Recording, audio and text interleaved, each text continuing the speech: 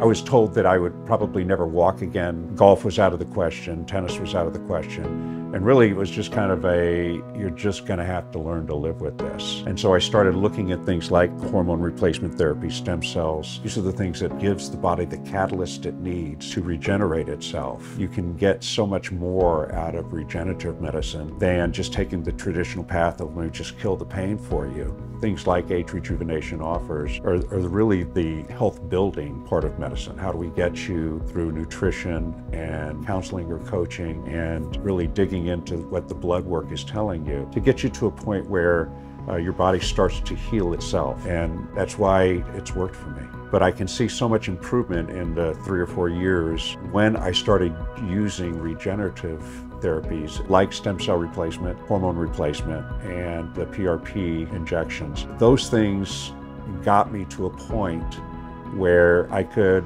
do the things I enjoy doing. Play golf again, I can swim, I can play tennis, I walk without a lot of pain. I'm just way happier and way more active and, and way healthier than I was before I started the regenerative part of the journey.